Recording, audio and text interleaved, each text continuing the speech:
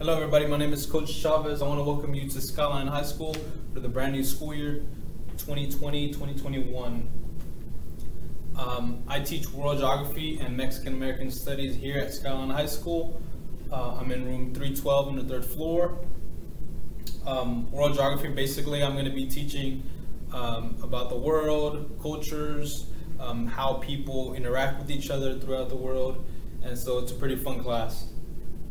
Um, I'm also going to be teaching uh, Mexican American Studies, which is the history of Mexican Americans in this country, uh, both in the past and how things have come to be in the present.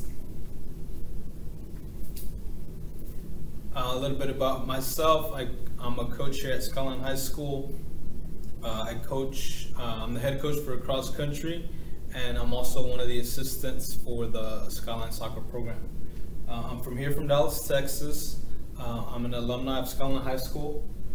Um, after Skyline High School, I went to the University of Texas at Austin, and some of my hobbies include uh, coaching and playing soccer in my free time. Um, I also like to travel and I like to watch sports on TV. Um, some expectations that I have for students and for myself.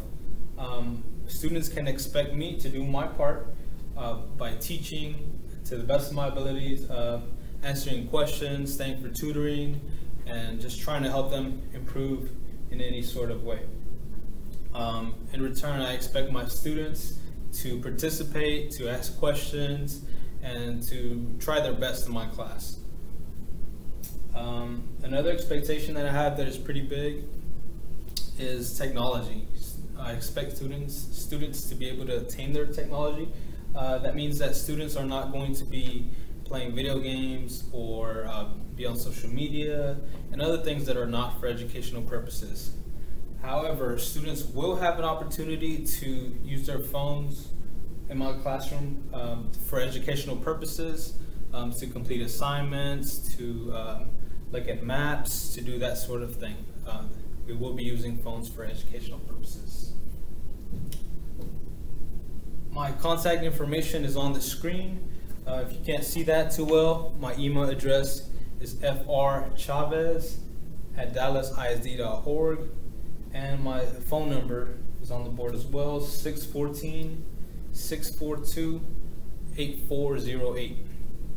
Um, if you have any questions or anything like that, you can always reach me.